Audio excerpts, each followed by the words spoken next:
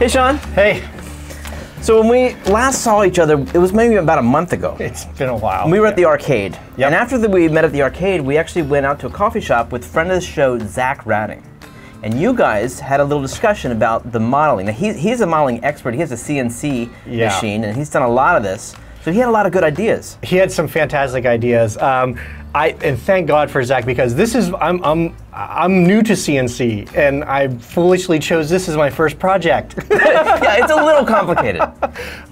so he had some really good ideas on on assembly. Uh, I've done a new 3D printed mock-up so we can kind of compare and contrast from the old one. Oh, excellent. And and giving us an idea of what the cuts are going to look like. So I got my computer here full of cut files that are hopefully all good to go, and we'll load into the CAM software and get the cutting. We're actually at Zach's shop right now. It's called Build Cool Stuff. It's here in Concord, California, which is exactly what we want to do. And, and he does, yes. So uh, why don't we ring the doorbell and see if we can go inside? Hey guys, Hey, Zach. Hey, come on in. Thanks. This is my humble uh, shop. I love it. This is awesome. Did you paint that yourself? Uh, well, yeah, lots of spray paint and masking, and found some cool image on the internet. That's fantastic. And this is our wood. This is your wood, soon to be your arcade cabinet. So, lots of tools, laser cutter, pick and place machine, all sorts of fun projects going on. So, hopefully, uh, we can get your stuff cut. Well, I think the first thing we should do is uh, catch Zach up on your latest 3D print and Yeah. make sure we're all on the same page. Absolutely. And then we can hit the files and uh, send them over to CNC. Sounds good. All right. Let's take a look at this. So this was the first mock-up I did. So this was based on the the first internal design of uh, the uh, table. This is the one that we brought to Other Ocean. Yeah, and this is the one I first showed Zach. So it had these uh, these supports for each panel. There was two underneath each one that it would screw into, and then if we lift off the top, the uh, this was a solid hub, panels like glued or you know together, and then the fins they're not they're on the outside here, but they would protrude a little bit inwards, and they would be fastened somehow, and this would be one big piece. And um, Zach took a look at that and gave me some really good uh, tips on how to tackle that. So As I recall, he said you could do it that way. We could. yeah, or or so so this is all based on uh, recommendations that, that Zach does. So first he said. uh, Rather than separate fins for everything, why don't you try to make the one big piece so they would be stronger that way, which makes a ton of sense. Um, and then along those lines, as we started thinking, if we could do that, maybe they could disassemble for transport, which would make Right. getting because that would be a really big piece. To That's a big truck. Get in something. Yeah. Right. Hopefully, this is maybe a an SUV or even a you know station wagon kind of thing. Yeah. So based on his suggestions, I went did this where we have these three fins that slot together. So they simply, and this would work the same way once they're all CNC. So they just do that. Um, and then just for pure, really for aesthetics, I'm going to have this little uh, like hub that will slide down on, and it's not going to be strong enough to like hold it together per se, but it makes it look nicer. Because I suspect that as we uh, transport and use this and take it apart and all that kind of stuff, um, it will get banged up at the where they all meet. So that will just really be it's a piece of PVC pipe slotted so that it'll it'll look nice. It'll hide the joints. So then your next suggestion, Zach, was to make this hub. Right. I so what that. so what's the idea? Uh, why don't you explain the hub idea?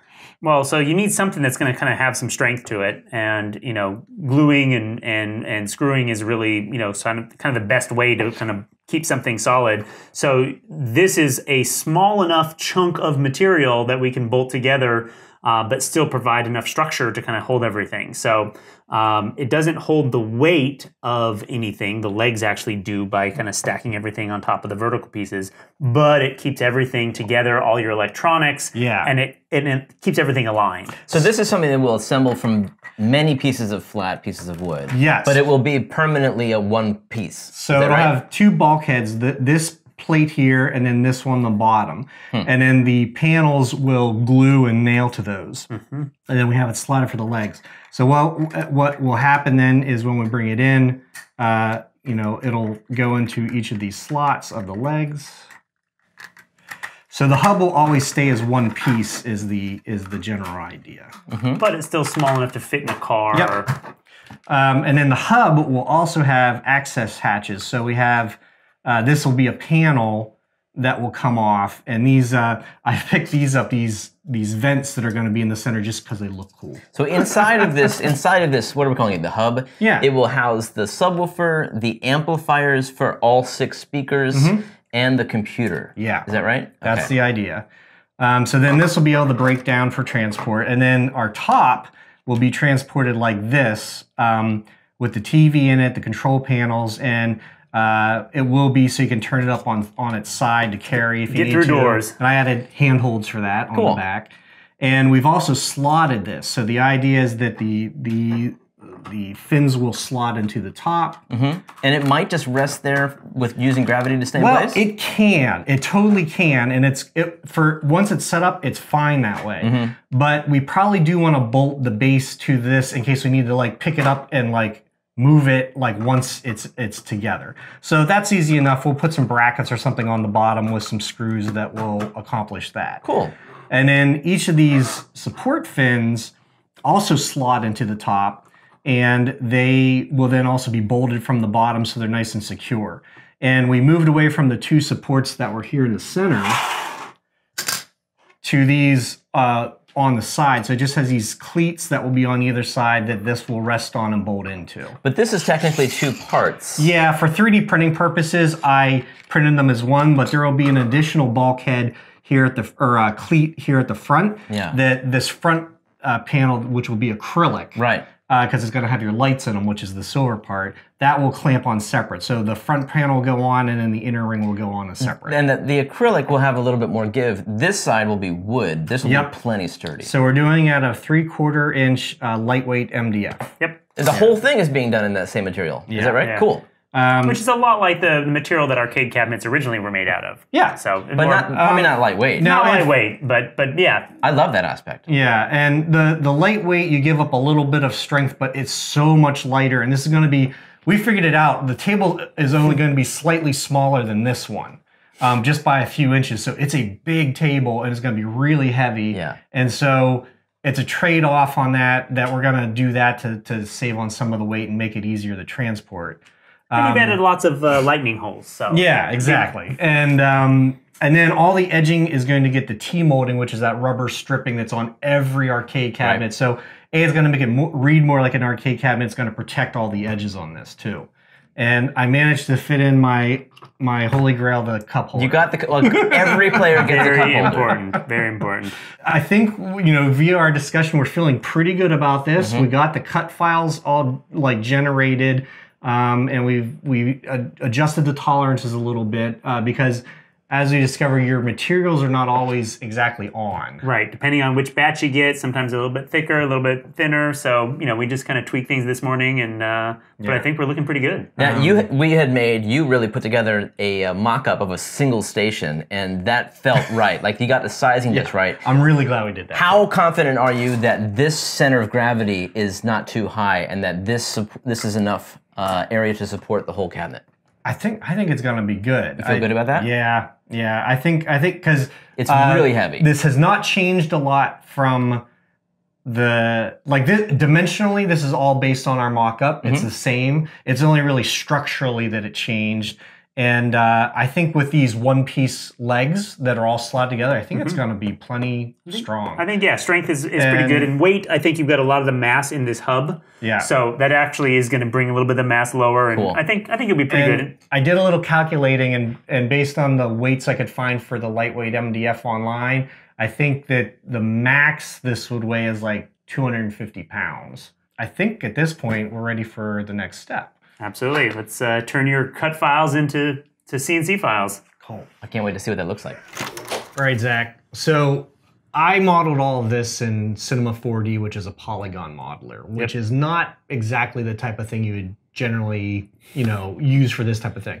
Uh, I actually sat down and spent like about four days doing like uh, Fusion 360 tutorials and stuff, and it would be perfect for this. Right. But what I came to the realization is that this was complicated enough project that the the amount of time that it would take to get ramped up on Fusion to get to where I could do it all, it, it would just take too You, long. you had enough new things to be learning. So, So, I brute forced it, and basically, I, I worked in a very similar fashion to how you would do it in like SolidWorks or something, I started most of the pieces as splines. So Mm-hmm. a 2D vector image like we have here, and then I would extrude it to the thickness of the material. And that allowed me then to slot things together and see if they work dimensionally, uh, like in a 3D space. And then I basically drop them down back to splines to send to you. Perfect. So that's just a, a DXF file uh, that you can open in like Illustrator or you know whatever. right? Yeah, and so, be, because we're doing mostly 2D cutting, almost like you do on a laser cutter, Mm-hmm. um, we just need outlines. So you gave me some outlines, and uh, we kind of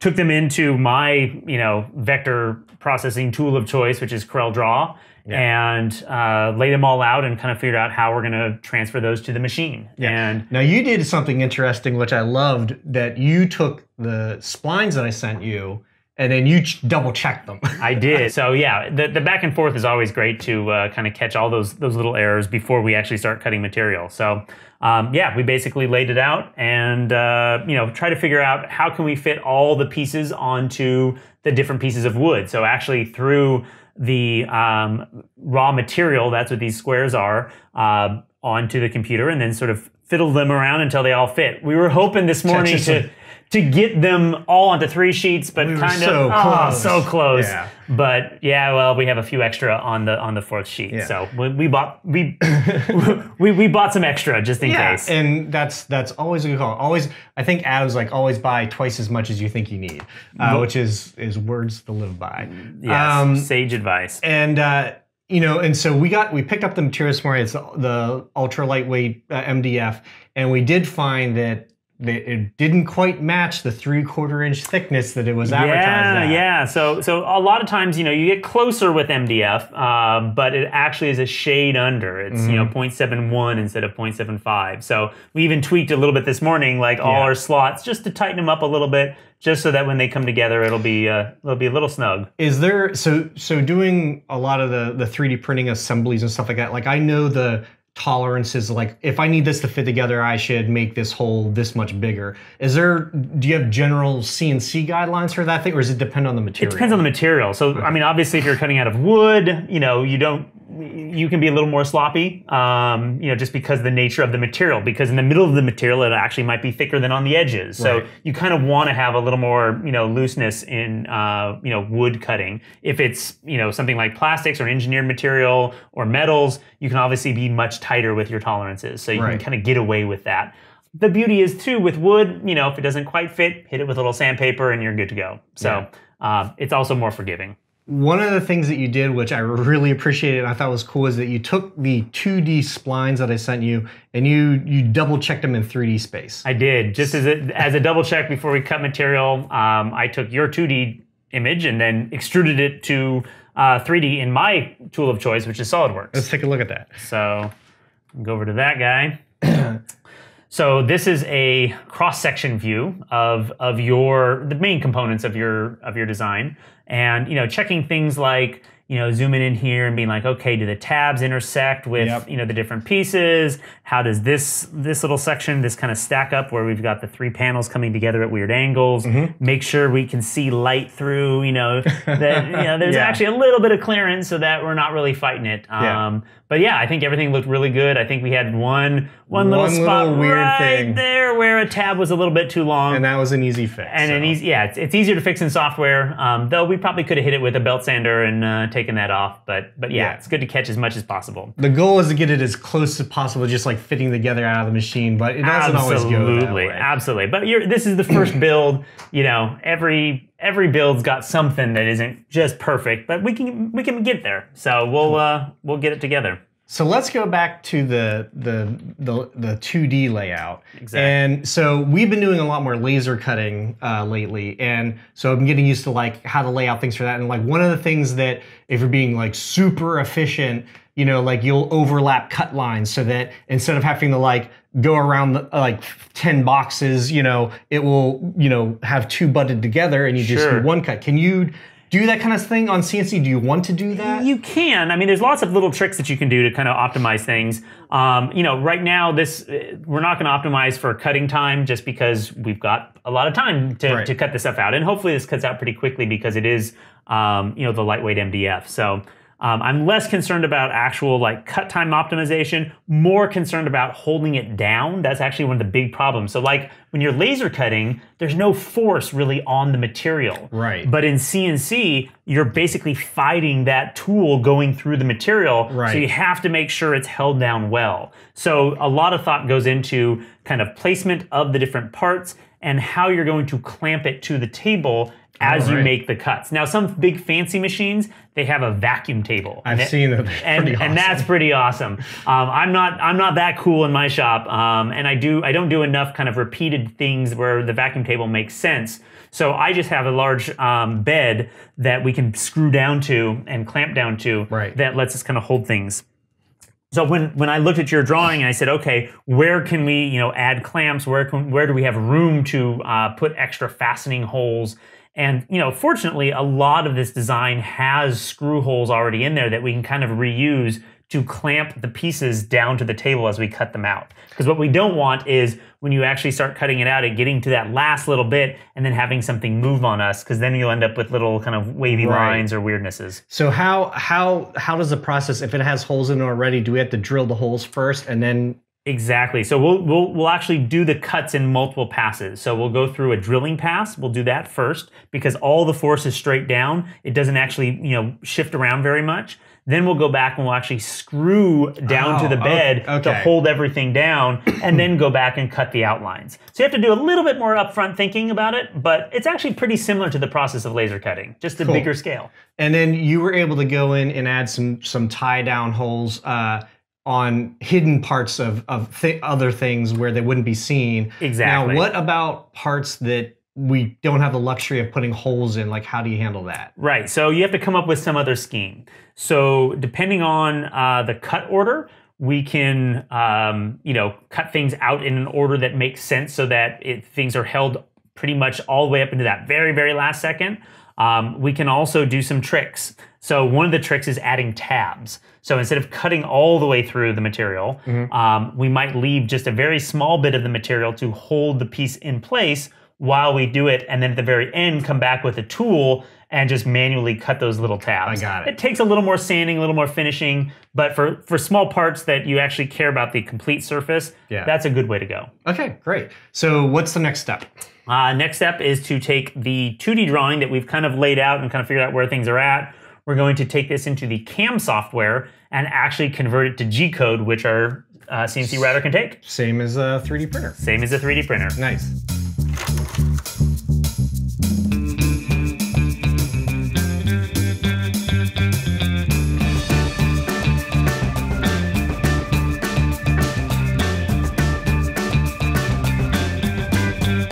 Here we are. This is our uh, CNC machine. We've got your drawings up on the computer. Uh, the, basically, the next step of taking your flat drawings and then converting them into G code is telling the machine exactly where and how to cut. So we decide early on that we're going to use a quarter inch end mill to cut everything. Right. And That's uh, why the line is away from the line. exactly. right? Unlike a laser cutter Right. where you actually cut on the line. It's a quarter inch away. It's a quarter inch away, exactly. It automatically offsets that, but you have to tell it whether you want to cut inside the line or outside the line, depending on whether it's a you know inside feature or outside feature. So there's a number of things that just kind of have to keep, you know, you have to keep uh, track of when you're doing CNC stuff. Um, So obviously, so for like our hole cutouts, you can see that they it's going on the inside, so they look the right. Exactly. Yeah, this little arrow shows where it's actually cutting. Okay. We also have a ramp in so that you know instead of starting right on the line and just dropping the tool straight down. If you've ever tried to drill a hole that's you know perfectly straight, sometimes that bit wanders a little bit. Right. Well, the same thing will happen on here. Cool. So if you start with it outside of where you want to cut, then it ramps in nicely. Clean. And it gets a really cleaner. clean, Cool. uh, clean cut. All right. So um, yeah, once we've once we've done that, we could do a quick preview. Oh, And so that's showing the travel. This is showing all the so the, the red lines are the rapid travels, and then the area that's actually cut away is uh, neat. where our cuts are going to be. We've also added a couple spots where we put tabs in. So some of the areas that aren't clamped, we've added tabs to kind of hold the piece to the outside frame. So it won't be completely free until com- until it's completely done, and we'll go back and actually just trim those with a little tool Nice. um, to release them. kind of like a like a sprue on a model kit. Exactly. So are you gonna do the whole thing with the same size bit? Pretty much. We're going to do one pass with a drill. It's just going to drill a bunch of holes. Then we'll actually use those holes to hold everything down. Mm-hmm. And then we'll come back with a quarter inch end mill and mill out all of the outlines. Okay, cool. So at first, this is just a very expensive drill press. It is a very expensive drill press.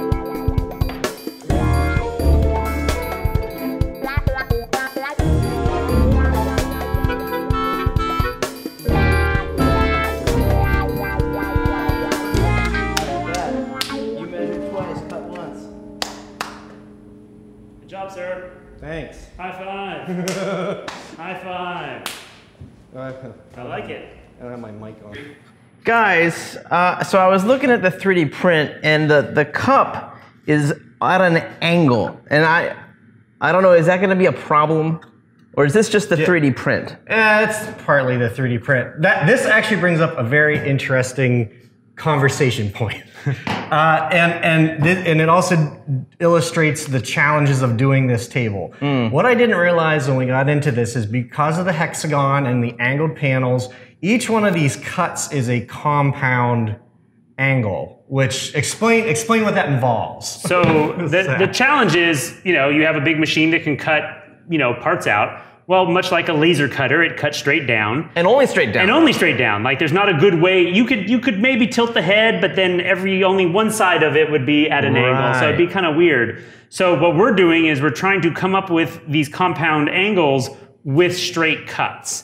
So we're doing a lot of things to kind of cheat that. So one of the things we talked about this morning. Oh well, yeah. Here's one of the ways that we're doing it. we're actually going to put a uh, compound angle with a second operation. So we'll cut out the outline, and then we'll use that to come in and actually cut the angles on the pieces that have to be angled As a second process? as a second process. Ah. So, but for the cup holder, we talked about this, and we actually decided on a different solution this morning. Yeah, because what what I realized is if a straight up and down hole, if you have say like a pint glass and try to put it in here, it the walls aren't straight up and down, so therefore it makes the glass stick out like that. right, and spill. Right. So uh, there's a few different ways we could have handled this. Mm-hmm. One way was we could have built an elaborate jig that is at the angle 15 degrees, which the tabletop would be at, clamp it to a drill press, and then use a three inch hole saw to get the hole up and down. so that was one way. That's one way. Uh, Zach came up with a much better idea, I think, which is to cut it straight, oversized, Oh, so this is bigger than it needs to be. yeah, and then we'll do a 3D printed insert that has the proper angle. Oh! So I have a nice trim ring that has the inside straight up and down, and underneath the to protect everything from moisture, Yeah. and to keep things from moving around will be a piece of ABS pipe that is underneath here. At the right angle. And so you'll never see from the top that this is not the exact right up and down angle. Exactly. It'll all be covered. Cool. So I think that's an easier solution with, with the tools we have available, such as the 3D printer. That I think that's the better I'm glad to see some 3D printing involved in this Yeah, man. project. Yeah. Yeah, like that's not enough. Zach, this router is amazing. I, I really only come from like laser cutting and 3D printing background, but uh, I mean, what is this machine and what, what can it do? So it's basically a milling machine or a, or CNC router Um, the head over there, the cylindrical piece, is um, just like a big drill. So this happens to be a three kilowatt drill, which is a really powerful drill. Um, it's actually water, it's a water cooled spindle. And these Um, are actual water lines coming in? there are actual water lines coming in. There's actually the temperature gauge up top. That's uh, 29 degrees uh, centigrade. So it's just a little bit warmer than room temperature. It's probably a little warm in here. But actually, there's a water pump that's circulating, cooling through there. Nice. Um, it can go up to 24,000 RPM, which is really, really fast. What have we been running at for Uh, reference? 12, about half that. Okay. Um, Is that is that pretty typical for a router? um, for routers, yeah, routers usually are up in the the you know tens of thousands of RPM because that's just how the bits are made, and the material that you're cutting really works well at those high speeds. If you're cutting um, harder materials, metals, um, you know, aluminum, you'd slow down some. Steel, you have to slow down way more. That's why you typically don't see steel being cut on a router. You can do it, but it takes a lot of cooling. It takes a lot of other kind of tricks to make that work. But for plastics, for woods, for any kind of soft materials, high speed. Well, you can see how fast it cuts. I mean, we made tons of cuts in Yeah. you know 20 minutes. So um, yeah, it's really really designed for that. And then you know because you're moving this kind of big heavy thing through big heavy material, you need a lot of mass. So if you look at sort of smaller machines, you know, like your X-Carves and your Carveys and sort of these things, you know, they're kind of limited on their speed because of their mass and rigidity. You know, you can only push something so quickly before things start bending and moving and you start losing precision. Right. So the heavier and the more massive it is, and, and the more, you know, So there. this is a big steel column, Yeah. you know, that, that is all welded up and it's it's it's very stout, and that lets you, you know, go at high speeds and not deflect. Um, you know, really the weakest thing that you want is the tool at the end. Everything else should be rock solid. So, um, you know, that's kind of why this thing weighs so much, and it can actually move as quickly as it can because it's so stout.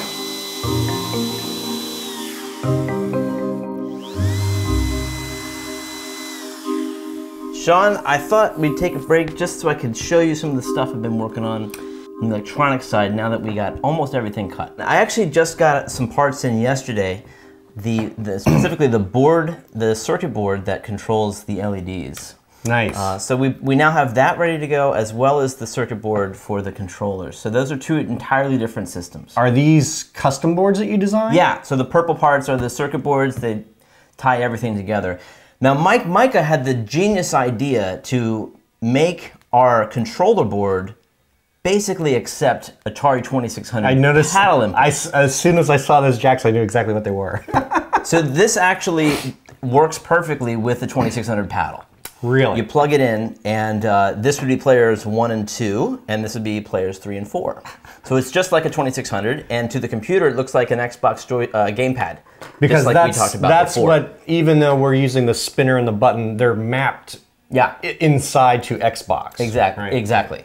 Um, so this is, I believe, this is the first X input to uh, 2600 adapter Cha-ching. on the, in the world. uh, so that's actually that's actually fun. We're gonna open source that and let other people make those for themselves. Jeremy, that's awesome. But the hard part is going to be like connecting a 2600 uh, paddle to that is pretty simple. But Right. making our own controls look like paddles, it's just going to be a wiring pain in the ass. But it's worth it because we got this cool compatibility. There's only So- six of them. I know. So we're gonna we're gonna wire four of our controllers into a couple of these, and then the last two into a third. We'll use two of these Mm-hmm. to run the whole thing. And it'll look like two gamepads to the computer. Um, so yeah, I'm super cool. psyched about that, um, and that's done. It's tested, and it, and it all works. We're gonna use the start and the back buttons for credits and and menus to set the in-game stuff, like as far as like how long are the games and what Right. the difficulty settings are. That Mike wanted those features, so they're all in there, and that's cool. Uh, the other board that I just that I mentioned arrived yesterday is the LED board. Yeah. So- I'm super excited for you to share this off. This is kind of neat because it, we're actually running two different kinds of LEDs. we're running um, for all the panels that in, in front of the players. yeah, these the- silver parts. Right? those are going to be APA 102s, which is um, the kind of LED I prefer.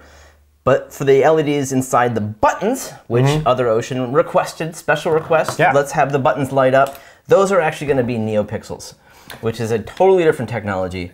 But Adafruit again, right? yeah, they're the ones that named them NeoPixels. Their Okay. their generic brand is the you know WS2812, and they will be both of them will run from this very powerful Teensy board. Okay. Uh, so it can do both simultaneously, uh, thanks to some cool new libraries that don't block interrupts. Um, so this is great. So um, I'd love to plug these in and show you what those look like. Please, They're running through a uh, track mode right now. Um, and so if we were to attach them all daisy chain, they, they would turn on, but let's see if we can just get one working for now. There we are. Oh, cool. Yeah. So it can be any color. So, and this is uh, this we haven't done as we discussed a ton of 3D printing on this, but we did uh, Adafruit release files for these little uh, frosted inserts Yeah. that you can put in these guys. So we, we printed some of those on the Form 2. This is the generic arcade button, but inside uh, they come apart very easily. Yeah. And the insides um, Which is nice. you can replace with. Uh, you gave me this cool translucent print, um, and it worked great. And the, the LEDs are on this tiny little circuit board, which are a pain in the ass to solder to. Um, unfortunately, like this wire is it's wider than the than the hole that it comes out of, Mm-hmm. and it just it gives it a little too much resistance. I think I'm going to end up replacing this wire with Oh, no. one of these on this side. It's just going to be a little more work, but it's going to be worth it because I want the buttons to. You don't want the buttons to stick in an arcade game. Yeah, yeah, yeah, definitely. Um, I love it. Yeah, look Those at that. So it, the, the the rainbow goes around and around and around, and that's the attract mode. And then when somebody enters the game, it can be their color, you know, because we Right. have six colors for the different quadrants. Let's back up a minute. Attract mode. That's that's you're that's actually like arcade lingo, right? Yeah. Because it's like draw. It's look at me. It's it's put money in me. Look, I'm awesome. I'm awesome. Look, I'm, I'm it. cool. So it catches your eye, and so we want to make it look fun. So the, Yeah. the, the screen will be doing some cool animations that will make you want to play the game. cool. right? This one, this one is is totally different. It, it runs off of this other panel, and if uh, it, this this might be a little bright, so avert your eyes. Let's see here. Yeah. So it's currently mapping the entire board Right. to a single strip. Um, Okay. But this is one strip. This will be the length At one of one of these panels. Right.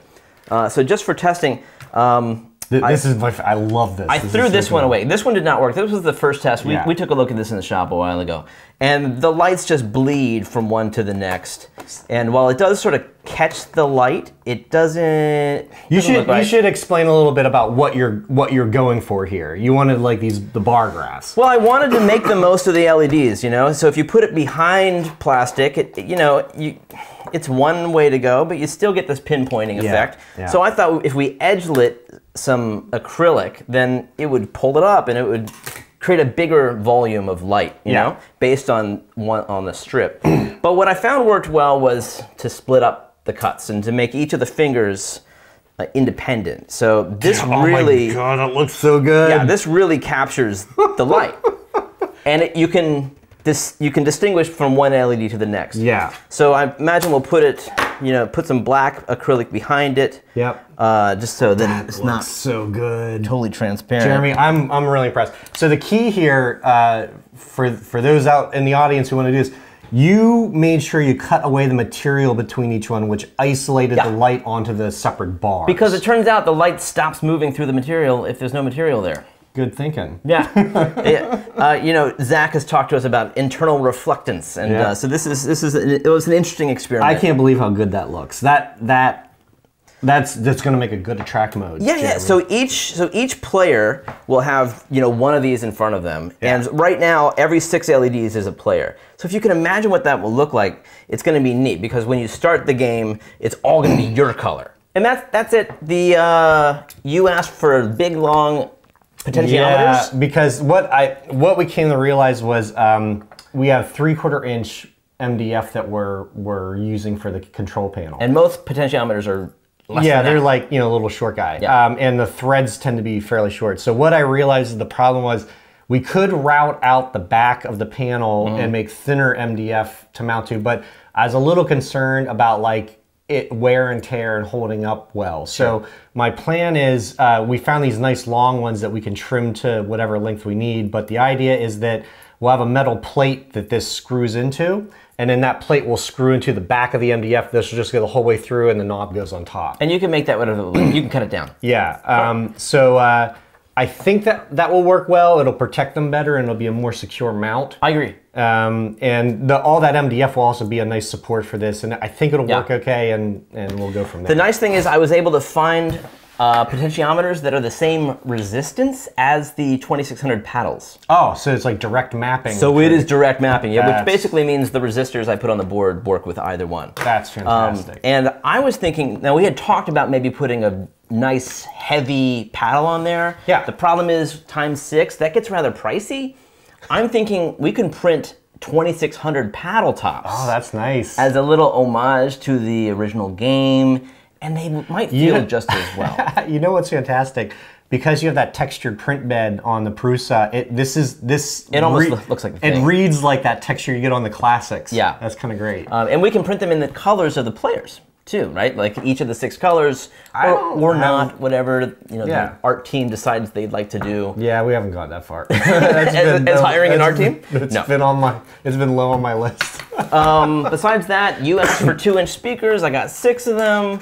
We can see how they look. And how yeah. they Oh, those are. Oh man, that's got some heavy, right? It's a full I range. think these are gonna be. Uh, yeah, we went from originally four inch down to two, two and a half, or something like but that. But I love that each player gets their Um, own speaker. Yeah, That's and gonna be I think I think uh, I think these are still going to put out plenty of sound. And we found a under the seat car subwoofer that Yeah. we're going to try out putting it in the base. It's small, but it's. I think it'll be fun. and and it's kind of plug and play. It's got a little remote for the volume and a- stuff. it's got its own amplifier. Yeah, so this will go like directly. They're going to go in these holes here, directly Yeah. in front, and then the, the subwoofer will be down here in the base. And we got three Amps? three of these, right? Okay. So we have uh, each every uh, two players gets one amp for those speakers. Yeah. So what I'm thinking is with so we as we talked about the the top will come off for transport. Yeah. And then the hub comes off, and we we have room to work in here, but like we may want to try to house most of the electronics in here, mm-hmm. and then that's like with the- a big connector. That, Yeah. Like a Molex switch. Yeah, and I think that might be, and then we'll have access from below here for the HDMI and the power for the TV that we'll have to plug Right. in. But and obviously all the speaker wires will run through Yeah. some connector. yeah, so well, that's we're still figuring that out. But Yeah, I'm not too worried about that. We can always cut wires and yeah. So what else do we have to do electronically? Ah, uh, well, I have to finish these off. Like they're all cut, but I have to solder connectors because there's six of them. Okay. I have to solder them all together so that they daisy chain kind of like these. I talked about fixing this wire. I think Yeah. I'm gonna have to do that. Um, and then there's a little bit of code left to let Other Ocean control the lights in these. I'd like them to be able to do what they want with the player buttons. Right. Um, but just that's just small tweaks. I think by the time we're ready to build, uh, back and tested, I think we'll be ready to go. I think I'll be ready to have all the parts. Um, one thing I'd like to know from you is, are is this the right size, or do you do you want this the backing panel to be larger? But we can cover that when whenever you're ready. Yeah, that's the what we have all the main stuff cut. Yeah. We still need to figure out this inner panel because they're going to be acrylic, Right. Uh, outside and inset. So we, we, I haven't quite figured that out, but we'll, we'll get it. it's laser cutting. Yeah, let's see some 3D printing in there too. Oh, let's. Do, I love it. I love it. All right, cool. I think I hear the machine has stopped. Shall we go check out the parts? check it out. All right, cool. All right, so you were up bright and early before you even got here cutting sheet three. I was knocked it out. which which are some key components that we were dying to have yesterday because it's right? it's these uh, this is part of the hub so the hub will have this top layer and a lower sheet that kind of sits down here and the panels will glue onto this so it'll all be one piece so we'll slide this on and it holds the legs in place Keeps them all lined up and gives it a little strength. right but but the key piece that we were like is this all going to fit together is this going to work Right. is this guy Yeah, this Oh, is the oh, how do we get it home part, right? Woo. It's huge. It's so you know we did the, I did the foam core mock-up which was just one station, but when you put six stations all together, oh, All right. Is it, so- is it gonna go? Oh my god! Did you see that this dropped right on the slots? That's So pretty nice. The table is slotted here to take the fins just for kind of alignment and keep everything from moving around, and I think we nailed it. Guys, this is an arcade cabinet. Look at this. We could we could sit right. So- there. This is awesome. Or we could play poker. I mean, like we're Yeah, all exactly. set up to do it's it. It's kind of like that. This It's is about that. this is about the size of a poker table. It's 48 inches flat to flat, and and part of that is you- our material is limited to like 49 inches. Yeah, that that basically tops it out. I mean, you can get extra special wide stuff, Right. but that's super exotic. And the TV is going to sit this way, and there's it. It just fits. It's just enough room. So, um, but this and then going to point to point, it's more like 55 inches. So we do have like how we're going to fit this in a vehicle. So. Uh, we did the best we could on that. I think we're going to have to have a uh, you know, to transport it to the event, like we're gonna have to have some kind of ve- bigger vehicle, but that's that's make it future us. pro- So um, we also did fins. Let's see if these slot in. So these are where the cleats will go that the panels will sit on top of.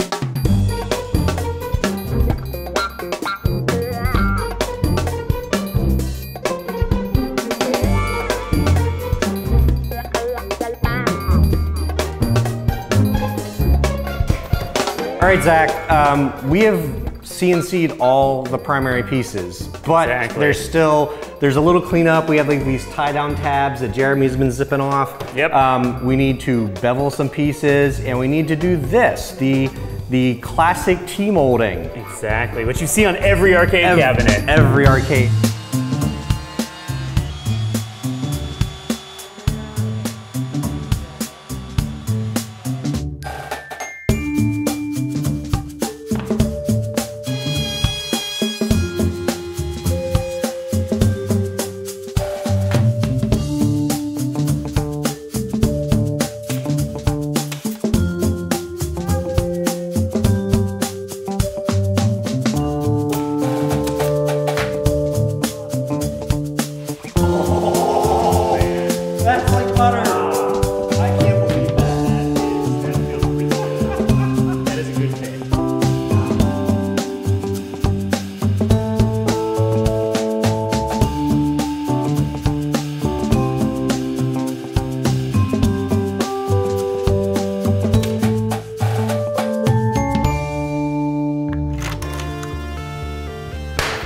It's held together with tape and spit. Pretty much. Literally a little bit of tape, but also a lot of glue. You guys really showed how much you can do with just glue. yeah. Like all these cleats are all held on with glue and some staples while it dries, but The glue's the glue's gonna do the work. It's gonna just have these cleats that all the panels rest on, and um, we have to do the same thing for the inner acrylic panels, which we'll do later. But I think we've taken enough of your valuable shop time, Zach. So we got all a little bit more to do, but the hub system totally worked. It slid on and off easier than we thought. Yeah. Um, everything seemed to line up pretty good. We, It all We killed your router. Well, you know, it was on its last leg anyways. So uh, I'm really happy with it. Uh, the weight feels pretty good, and now we just gotta start installing electronics and stuff and see if the TV will like truly fit and and we're good Exactly. to go. I can't wait. Go. Yeah. Well, next time you see it, it'll be uh, in your shop in San Francisco. So Zach, thank you again so much for all of your My help. pleasure. My Thank you, pleasure. sir. Of course. Happy to help. All right. Uh, We have officially built cool stuff, I would say. I would You say so. have. You are members of Build Cool Stuff at this point. Awesome.